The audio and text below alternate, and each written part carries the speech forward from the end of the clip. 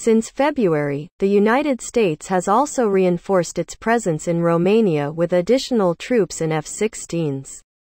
As the Black Sea region continues to be a focal point for Russia's war, the alliance will need to invest more resources in integrating air and missile defenses, deploying anti-drone capabilities and increasing its aircraft fleet with F-16s. Increased surveillance and reconnaissance flights by NATO forces could also undermine Russia's control of the sea by monitoring and exposing movements of Russia's Black Sea Fleet as well as other vessels and equipment. NATO should also work to strengthen its cooperation with non-NATO member states that are part of the Black Sea regional security environment, most notably, Moldova and Georgia. Both countries are eager to have closer partnerships with NATO. In Georgia, for example, the alliance could expand the function of the NATO Georgia Joint Training and Evaluation Center which provides joint field and virtual training for active NATO military personnel and Georgian soldiers, to include naval operations. NATO also plays an important role in supporting and bolstering Ukraine's cyber defense and offense capabilities. Cyber attacks are part of Russia's full spectrum war against Ukraine. In the first three months of the invasion, Russia conducted almost 40 destructive cyber attacks against Ukraine, according to Microsoft. Last year, prior to Russia's full-scale invasion, Ukraine sought to increase its collaboration with NATO's Cooperative Cyber Defense Center of Excellence, CCDCOE, only to be rejected by the alliance when the steering committee could not reach unanimous consent. The committee finally approved Ukraine as a contributing participant member in March. And an agreement that will formalize the country's membership is in the works. For the time being, Ukraine is still considered as a candidate country.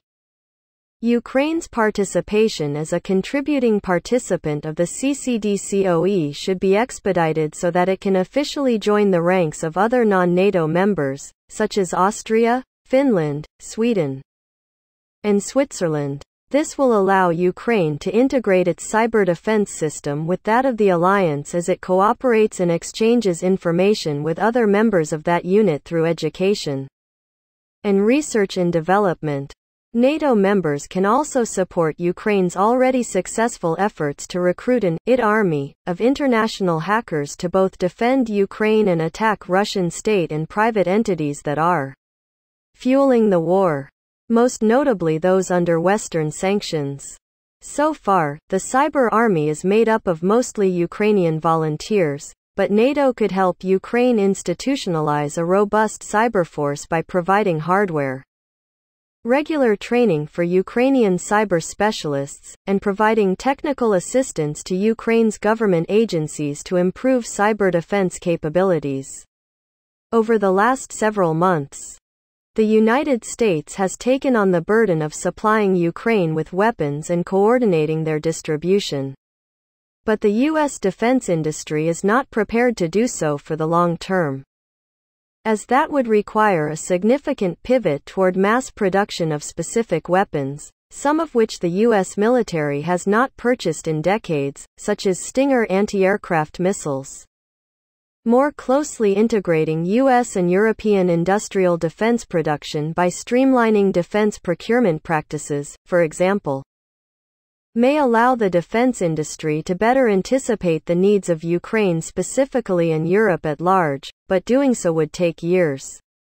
In the meantime, NATO, working with member states, can provide the strategic guidance to defense companies across the alliance to help identify gaps. Over the long term, the alliance has a mandate to take up its leadership role as the most important collective defense alliance responding to the Russian threat. The United States still sees China as the greatest long-term challenge, which means that more of the burden for securing Europe will eventually fall to the 29 European countries that are members of NATO, soon to be 31 with Sweden and Finland. The current U.S. administration is committed to supporting Ukraine and investing in broader European security. But the window for changing the trajectory of the war is narrowing. The sooner NATO takes up its political mandate to support Ukraine, the greater the chance for ensuring its future is the most effective and powerful security alliance. That's all with the Foreign Affairs Report, August 4, 2022.